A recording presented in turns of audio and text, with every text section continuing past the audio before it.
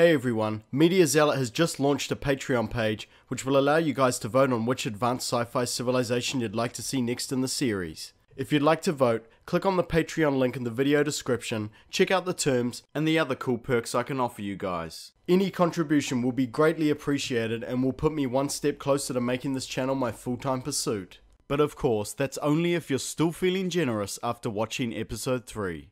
This video will no doubt draw the ire of a small minority of rabid fanboys.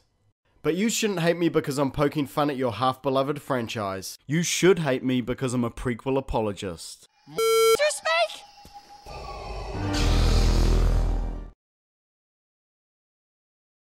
I can go early and fix up the baby's room.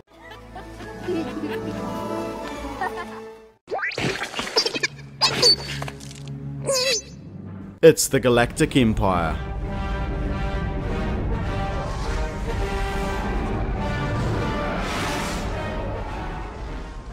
In the prequels we dare not speak of, we watch Palpatine expertly manipulate himself into position of Emperor in his newly formed First Galactic Empire. Not to mention he all but eradicates his main opposition, a mysterious cult of ancient space wizards. What does that mean? I'm not sure. Meditate on this. I will. His rise to power may be impressive, but this massive power grab is seemingly the exact moment Palpatine stopped kicking ass. Because although the Empire does grow to become unrivaled in size and military might, everything else has been slowly going downhill ever since. The Galactic Empire's stats look impressive, boasting 1.5 million official member worlds and 100 quadrillion citizens. All kept under control by an unparalleled military force backed by a near endless supply of resources. This enormous autocratic militarized nightmare has somewhat conservative leanings however, opting for modest, practical codpieces compared to our other evil empires. Instead, these guys overcompensate with bulbous phallic helmets, pulsating red laser swords, and gargantuan balls. The classic movie series that I couldn't watch without wondering if every single scene had been completely replaced with CGI.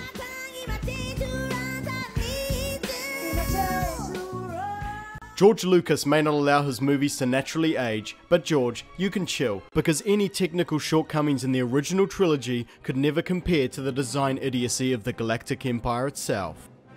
Point 1. Design flaws. Design flaws? Design flaws. Poor training and pointless retcons. Really? Grumpy Emperor Palpatine didn't get enough cuddles as a child, and now he's throwing his toys at the rest of the galaxy. The size and might of the Empire's armed forces is mind-boggling to say the least. They rely on overwhelming force to crush their enemies, while maintaining an iron grip over the populace. But unfortunately, the rapid expansion of the Empire's military might, and their choice to focus on mass production and cocky displays of authority, has forced them to cut quite a few corners in pursuit of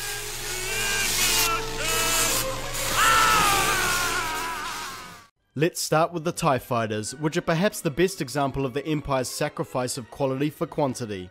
These things by their very nature were designed for mass production and mass deployment, both of which would have been considerable advantages if not for the fact the TIE Fighters are basically flying cannon fodder. I'd run away from a swarm of mosquitoes too, but these things end up being more an annoyance than anything else. They don't even have life support, shields, or faster than light travel. If their support ships are lost, the TIE fighter pilots better hope they are near a habitable world, or else they're completely screwed. They also obviously can't catch any ship that has a reliable hyperdrive, probably why they keep picking on this old piece of junk.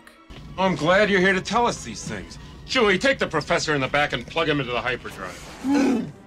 The field of vision of your average TIE fighter pilot is about as long as their lifespan. Sure, the TIE fighter's cockpit may have visual monitors and sensors to compensate for blind spots. I do not accept that explanation. So why then is this tiny craft's favourite pastime dashing itself to bits against canyon walls and each other? While larger rebel ships navigate their way through the tighter spots without issue. But perhaps we don't even need design flaws to explain the TIE fighter's capacity to destroy themselves, because the pilots themselves are said to be suicidal due to Imperial brainwashing. Unfortunately, things don't get much better when we visit the home base of the TIE fighters, the Star Destroyers, and Super Star Destroyers. These monstrosities are impressive feats of engineering for the most part, but like most other Imperial tech, there are some fairly obvious problems with their design. Take their extremely conspicuous bridges for example. For some reason, they're designed like seafaring ships that need to visually monitor for icebergs, or unrealistic asteroid fields. The Empire should have the tech to bury that bridge under armor. Sensors. But currently, it makes such a tantalizing target, you'd be a fool not to pop off a few shots. Hell, you could probably disorient a few Imperial pilots and smash a whole squadron of TIE fighters straight into this thing. Just shoot this thing first and the shields are gone, then inflict a moderate amount of damage to decapitate the beast and bring this whole thing down.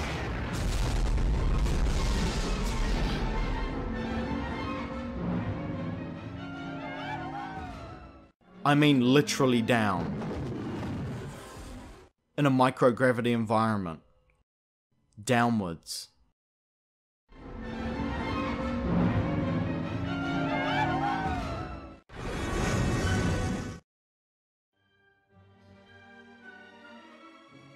The Imperial officers and ground forces don't fare much better either. During times of war, the Empire often rushes the training of stormtroopers and officers, shipping them off to the front line of the earliest opportunity. The officers may survive for a while, at least until they get promoted, but a fair number of stormtroopers are ill prepared for their immediate situation, and could be suffering from an extreme aversion to killing. Their fairly low accuracy rating could be completely intentional, if they can see out of their helmets at all, that is. See a thing in this helmet. and their cod pieces aren't quite as useful as I originally thought. Meanwhile, the rebels get a conveniently faceless bowling pin like enemy that they can just plug away at with ease. I don't even blame the stormtroopers for their at times questionable accuracy and lack of battle preparedness. They've been set up to fail from the very beginning. Half the stormtroopers we see could very well be nervy battle virgins. It's no wonder they apparently all have weak minds. You don't need to see his. Hold The Imperial troops with the benefit of armoured cover are not much safer either. The AT-ATs are the Empire's primary heavily armoured ground vehicle, and while they may have some impressive features, they also have some noticeable drawbacks. Heavy armour and blasters are fine, but these things are seriously hindered by the fact they can only fire forwards. If only the rebels would learn how to flank. They can also be defeated by any old piece of cable you happen to have just lying around. It's like a painfully slow, uncoordinated mechanical horse. A Trojan horse that trips over its own feet and blows up before it reaches the city gates, double crossing its own side and becoming conveniently explosive the moment its body touches the ground.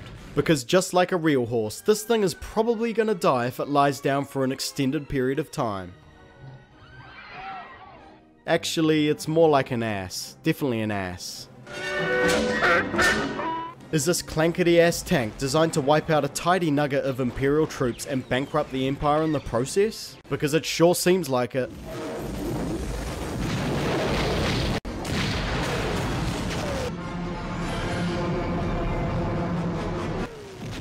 These Imperial ass clankers are apparently designed to plop out troops across the battlefield, but their primary purpose may be to further the Empire's display of power, and their production may have been hasty due to the need to just get some form of heavy ground vehicle out there.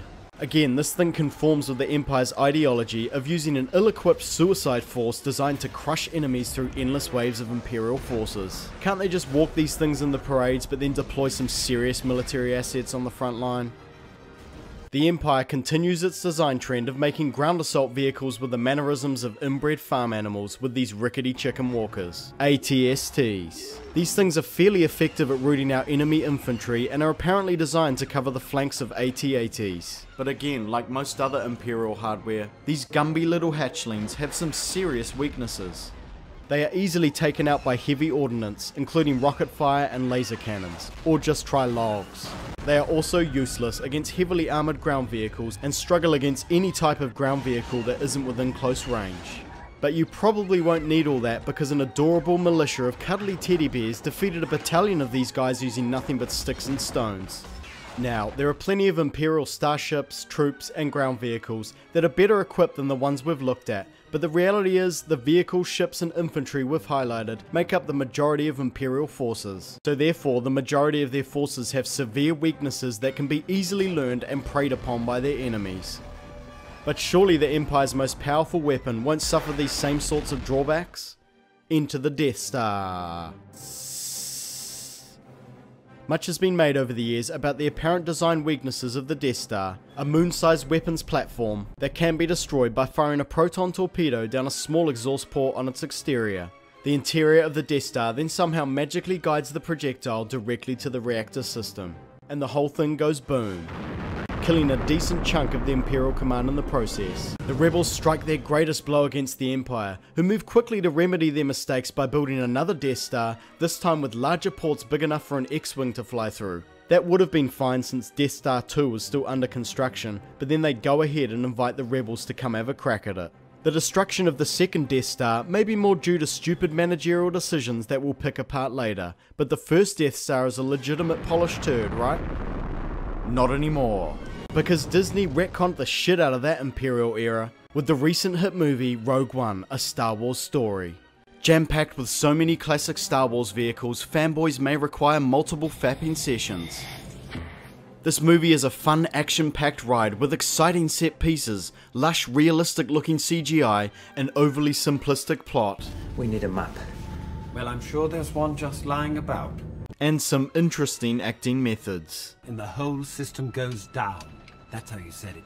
The most interesting characters are a despicable self-entitled villain My achievement! and a soulless robot. Are you talking about me? It's a film that seemingly exists only to turn a catastrophic design flaw into an intentional rebel ploy. But unfortunately, they only managed to replace one catastrophic form of stupidity with another we discover that Galen Erso, who was being forced to work on the Death Star project for years, secretly created a weakness in the Death Star's reactor which would allow the rebels to completely destroy it with ease, and then delivered the information straight to the rebels. It's really the whole exhaust port thing that seemed like the most serious flaw. You know, the exhaust port that guides torpedoes straight to the reactor system. That was kind of the whole thing there. A reactor blowing up after being struck by an explosive is believable enough, I thought. I'm not sure which design flaw you think you're fixing here.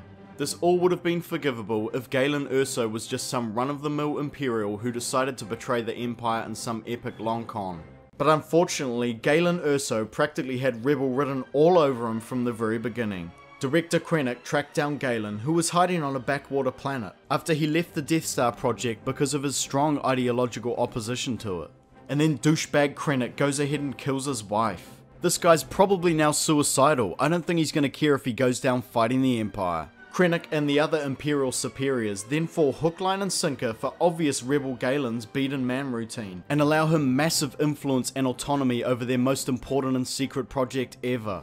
Galen seems like he had so much independence, the Empire are lucky he didn't rig the Death Star to blow when it busted its first nut.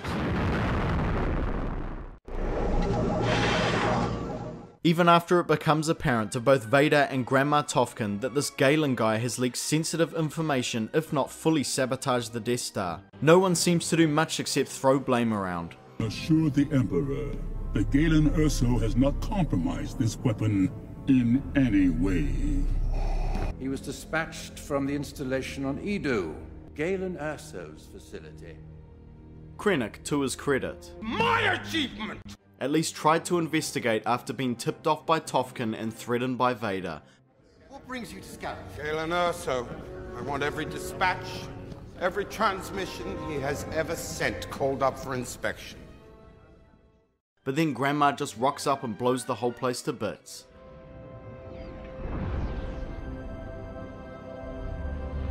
So much for investigating what happened.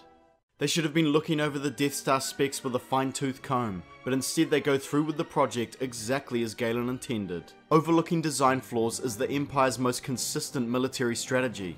I find the accidentally flawed original Death Star far more believable than this cacophony of incompetence with Galen.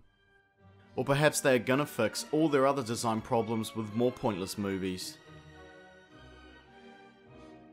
But there are actually reasons Vader and Tarkin may have purposefully withheld the relevant information, and that is because of problems with the Empire administration itself.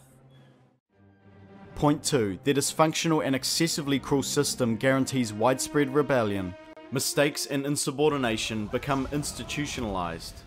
The Empire employs overarching ideological strategies that immediately alienate vast sections of their own citizenry, For a start, their awkward displays of masculinity are somewhat pointless without the appropriate audience. It's safe to say the Empire suffers from a distinct lack of female talent at almost every level.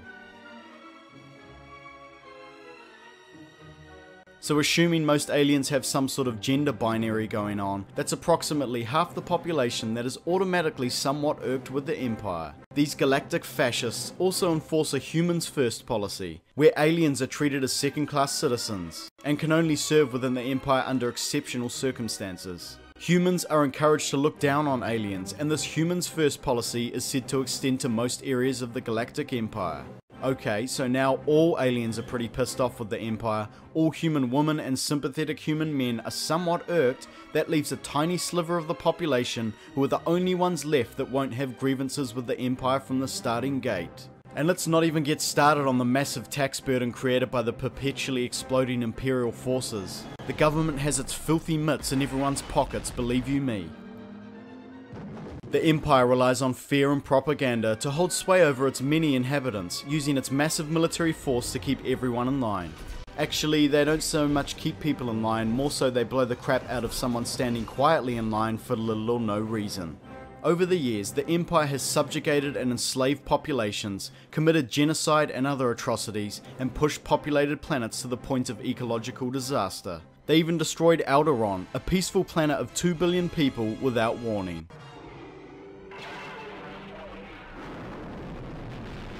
All for the crimes of a few of Alderaan's citizens. The Empire were attempting to demonstrate the power of their new weapon, but all they demonstrated is that attempting to live peacefully under Empire rule is an exercise in futility. Not to mention, dealing a massive blow to the Empire's system of power and control just became a whole lot simpler. Now the singular and obvious thing everyone brave needs to do is destroy the Death Star.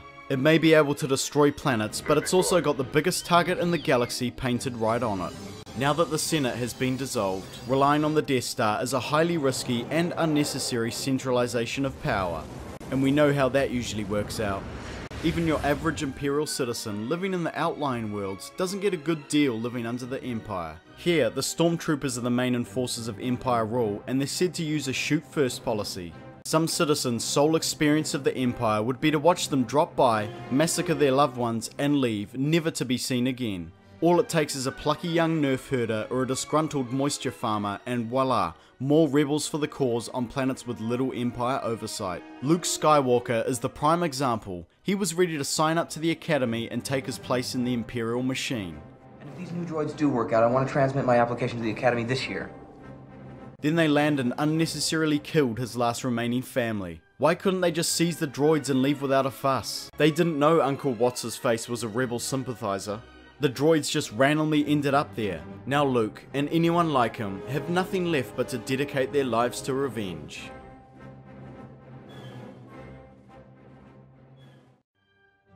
Grandma Moff Tarkin, Vader, and all the other galactic fascists Fire! are gallivanting around the galaxy, achieving little more than sparking a whole bunch of homegrown rebellions.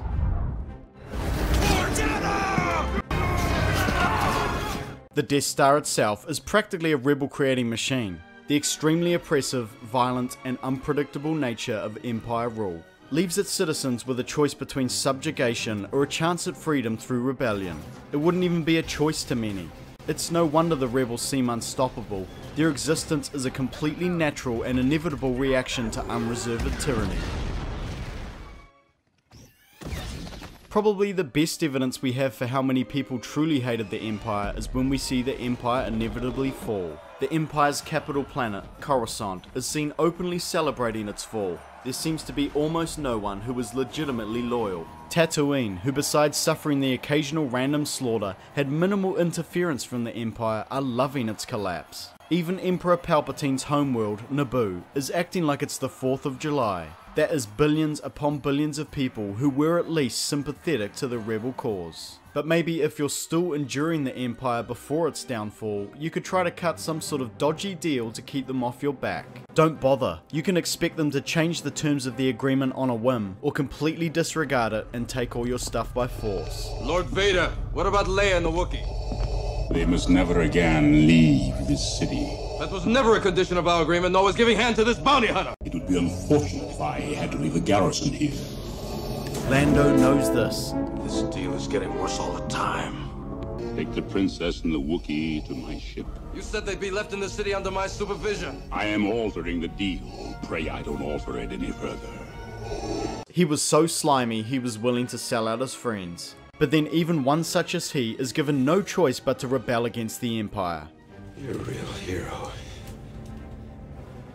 Another rebel for the cause, this time the influential leader of a city. But there is one man who did manage to get a mutually beneficial deal with the Imperials. It's Boba Fett, a ruthless murderous bounty hunter. He can work for whoever he wants to, can come and go as he pleases, and even gets compensated for lost bounties. What if he doesn't survive? He's worth a lot to me. The Empire will compensate you if he dies. Put him in. Vader delivers everything exactly as promised. More than that, they're totally bros. In fact, Boba gets treated better than anyone within the Imperial ranks themselves. Besides maybe Grandma Tarkin, he's way slicker than your average Empire dupe, and therefore he gets abused and yelled at less often. But everything and everyone else in the Empire are treated as expendable resources. This is a cutthroat, vicious work environment like a slightly less idiotic version of the Cyclo system. They basically kill anyone who fails a few missions, or maybe you just fail to deliver a project in time. It doesn't matter if you were at fault or not. Have a few bad days at work and you're Vader fodder. Within the Empire's military command structure exists a pervasive climate of fear, and with their casual attitude towards violence and murder, no one really even needs a reason to take you out. The oppressive working environment and constant threat of death is really not a great method of maintaining an efficient and effective command structure. Anyone below Vader is basically working in a chain of command that promotes dishonesty and deception towards superiors and colleagues. Apology accepted, Captain Needa. If your life was at stake, would you tell your superior the bad news and risk death? Or would you take the best options available? Lie your ass off, cover it up, downplay events, blame someone else, or maybe even create a little drama to keep your superiors distracted. Mistakes and bad practices don't get structural or cultural fixes within the Empire. Deceitfulness and failure to learn from mistakes actually become institutionalized as normal practice. Their system stifles any chance they have to adapt, learn, and improve. Mistakes may not be tolerated on an individual basis, but they definitely are tolerated in regards to the Empire never learning from them. No wonder the more adaptable rebels are able to take them out against all odds. While there technically may have been a senate for most of the Empire's existence, it is a vestigial remnant of the old world that the Emperor was just waiting to dissolve. I have just received word that the Emperor has dissolved the Council permanently. The real leadership of the Empire is the Emperor at its head, Vader below him, and the military-like command structure below, who are unlucky enough to answer to these freaks. Yes. I say military like, but honestly, the Empire's similarity with the military starts and ends with them having weapons. A few fancy sounding ranks and some nifty little pins and badges peppered all over their Nazi uniforms. Because in reality, the Empire probably wouldn't measure up well against many Earth militaries. In terms of commitment to command systems and rational thought processes that make victory more likely, not practices that make failure inevitable.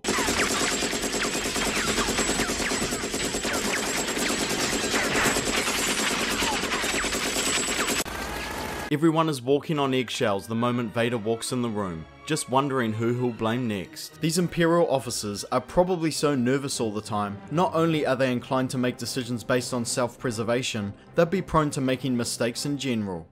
But he asked the impossible. I need more men. Then perhaps you can tell him when he arrives. The Emperor's coming here? And he is most displeased with your apparent lack of progress. We shall double our efforts. I hope so, Commander, for your sake.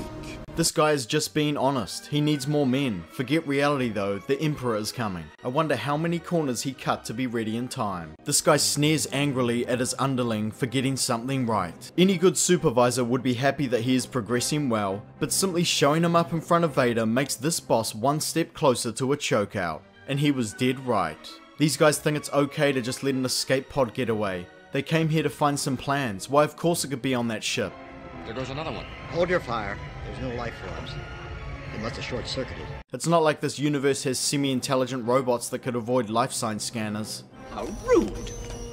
Is plasma blaster ammo something that the Empire needs to conserve? It sure doesn't seem like it. Despite Vader's ruthlessness, he fails to point out this obvious mistake. Lord Vader, the battle station plans are not aboard this ship, and no transmissions were made. An escape pod was jettisoned during the fighting, but no life forms were aboard. She must have hidden the plans in the escape pod. Send a detachment down to retrieve them. See to it personally, Commander. There'll be no one to stop us this time. Yes, sir. It's great that he's finally not screaming about it for once, but to avoid such errors in the future, the specifics of what caused this cock-up need to be addressed constructively. But obviously, it pays not to stand out within the Imperial ranks. Doing your job properly could get you a promotion, and trust me, that's the last thing you want. Your best bet is to sink into the woodwork and do as little as possible. That's because any sort of career advancement will inevitably place you on the Vader career conveyor belt of death. Be careful not to choke on your aspirations, Director. First you give your important insights to Vader, next you're his go-to guy, and then you're dead. I wouldn't say a damn thing. It's probably best to pretend you have a complete lack of leadership skills and initiative. These guys merely exist as the personal footstools of Vader, sometimes the Emperor, and if you're having a good day, one of your less insane but equally snarky superiors will be doing the screaming. Admiral Piett, who credit to him lasts longer than your average supervisor, in fact he survives between two movies. This guy seems legitimately competent and does everything Vader commands to a T, with minimal backtalk. But Vader berates Piett constantly for what is really his own strategic mistakes. Lord Vader, our ships have completed their scan of the area and found nothing. Calculate every possible destination along the last known trajectory. Yes, my lord, we'll find them. Don't fail me again. Admiral. Alert all commands. When Piett does finally get given what seems like his last warning, he nervously plays with his glove as he contemplates what to do. Of course this could be the point where he decides to betray the Empire and make a run for it, but instead his decision leads to an equally bad outcome for the Empire. Deploy the fleet. He decides to deploy the fleet to search for the Millennium Falcon, a reckless use of resources that will leave the Empire vulnerable. Surviving in the lower ranks of the Empire is even harder. Stormtroopers are under threat of death from all sides, sent on suicide missions on the whim of some guy they've never met. Like all Imperials, the Stormtroopers' morale would be extremely low, so low they'd be messing up the basics of their job. Door's locked. Move on to the next one. and I'd guess a fair number of them would be going AWOL at the first available opportunity. Hell, maybe some of them are so depressed they get killed on purpose. The Empire also regularly indulges in activities that immediately alienates ethnic populations within their own ranks.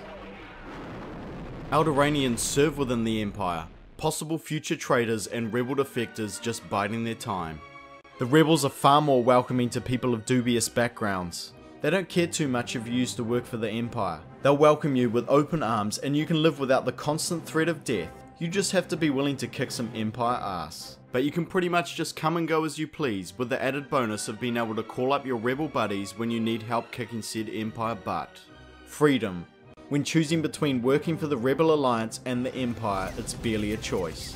And now we come back to Retcon 1, and super obvious rebel scum Galen Erso. Next to Grandma Tarkin and Krennic, this Galen guy has the greatest longevity of any Imperial officer we've ever known. Krennic doesn't really need Erso, but obviously he has to speed up the Death Star project and save his own neck. It's a typically irrational yet normal move for any Imperial officer.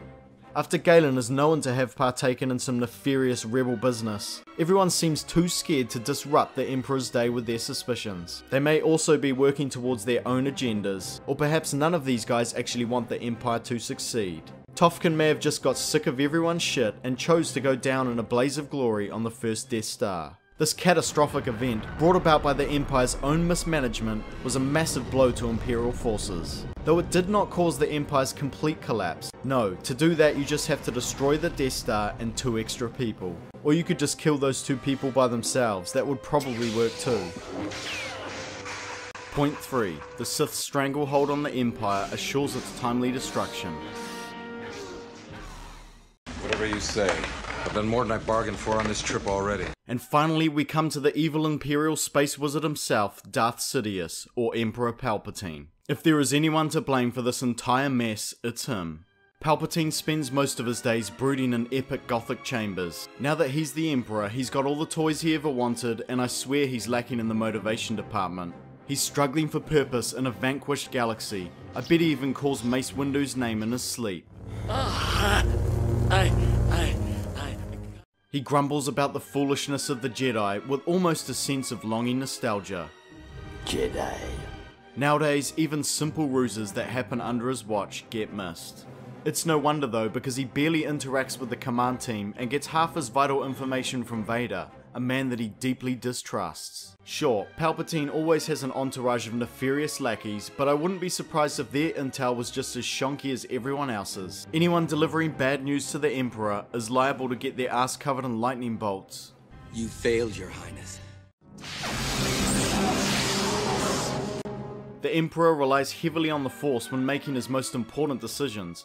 I have felt him, my master. Strange that I have not. He will come to me. I have foreseen it. But besides getting a few feels every now and again, he doesn't seem to be able to use the Force to find out anything tangible. Say, that Galen sabotaged the Death Star, and oh yeah, the fact that basically everyone in his own organization is constantly withholding information from him. The Emperor makes all of his decisions based on incomplete information and various feelings or hunches he has. Needless to say, it's an unbelievably crappy way to run anything at all, let alone a sprawling galactic empire.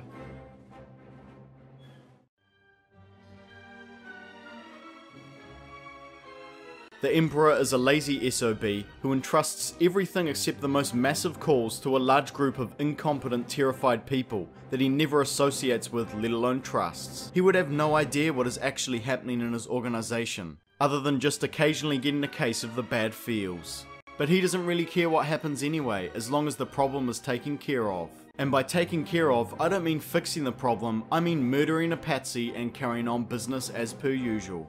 And even when Palpatine gets more hands-on, his skills in manipulation and deception seem to have waned in recent years. Everything that has transpired has done so according to my design. He gives the rebels the location of the second Death Star and its shield generator on Endor.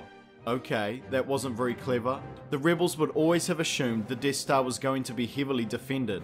They went in there expecting a battle, and now they know exactly where to attack. They still have a fairly decent chance considering their track record was surgical strikes. If the Emperor really wanted to create a trap, he should have made a dummy shield generator for the rebels to attack. And then Palpatine is even silly enough to show up and put himself in harm's way. But perhaps the most serious problem with the Emperor's way of running the Empire is his adherence to archaic doctrine. It's treason, then. Darth Sidious is a Sith Lord, which means he's a completely unreasonable prick who hates any form of union that doesn't involve two men. Right. He also seemingly endorses Vader's policy of compulsory asphyxiation for all subordinates. The Sith's rule of two compels them to have only two members at any one time. It's an ancient doctrine designed to preserve the order, allow them to remain undetected, and prevent serious infighting. But unfortunately, the doctrine also states there is always to be a master to embody the power of the dark side of the Force and an apprentice to crave it. And the Sith we see follow that last bit of philosophy to the letter. Because despite the original intent of the Rule of Two, these guys partake in some pretty serious infighting. Take your father's place at my side. Except now an entire galactic civilization depends on the continued existence of these two vicious, superstitious maniacs. Obviously, the dysfunctional relationship between Sith Lord and Master hasn't stayed isolated. The Sith's behaviour and stranglehold on the Empire is responsible for contaminating the entire command structure with its oppressive taint. This nefarious Sith relationship is the root cause of nearly all of the Empire's inadequacies.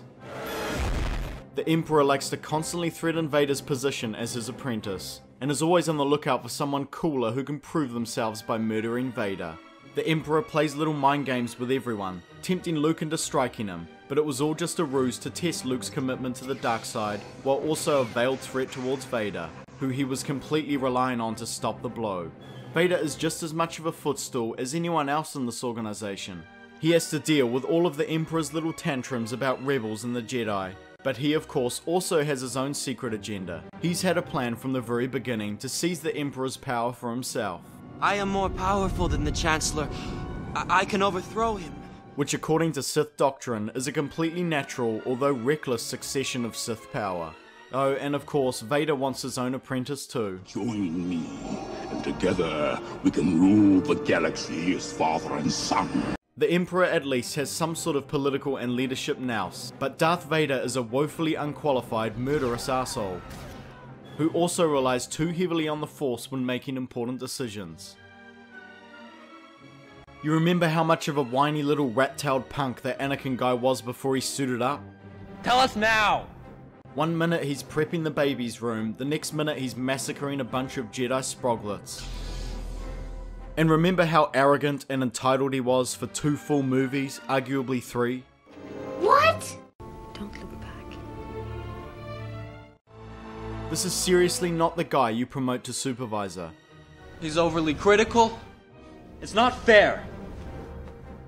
Vader has not the skills nor qualities to rule a vast galactic empire, and I dare say neither does Palpatine or his former apprentice Darth Maul. Count Dooku, another of Sidious's former apprentices, and a man much older than the Emperor himself, may have had some semblance of rational leadership ability. But of course he is inevitably betrayed by Sidious, who prefers his apprentices young and supple. Some consider to be unnatural. Even if a natural succession of power did somehow occur, it's very doubtful any such apprentice could have kept control over the devious Moffs and other Imperial officers, especially since they already distrust the religious nature of the Sith Order. Don't try to frighten us with your sorcerer's ways, Lord Vader. I'd wager if the Emperor was usurped or did manage to hand the reins to one of his inadequate apprentices, the Galactic Empire would have splintered in a very similar manner to what we see in The Force Awakens. Maybe this rule of two system worked when the Sith were operating in the shadows, but now it almost seems like a guarantee that the Sith Order would naturally collapse at some point, after Master and Apprentice kill each other in a catastrophic event, or a catastrophic event orchestrated by their enemies. Hell, the Sith Master could die and the Apprentice defects to the light side of the Force, or dies from another event before managing to train an apprentice. There are a range of probable scenarios that would easily see the Sith extinct. And even after every Death Star is destroyed and the two Sith dead, the Emperor himself was too stupid to continue to exist. The Jedi had long achieved a method of life after death, while the Emperor, who was obsessed with immortality, is seemingly just gone for good. Even Vader can commit one selfless act, and boom, he's an immortal space ghost. And need I remind you, he cut down a daycare full of toddlers and spent 24 years slaughtering his way across the galaxy. So of course, with the Emperor gone and the Sith destroyed, the Empire immediately falls into disarray and fragments into a range of different factions not long after. But an Imperial remnant remains, a group that later becomes known as the First Order. But unfortunately for them, they aspire to be just like the Empire and therefore seem dedicated to repeating its mistakes.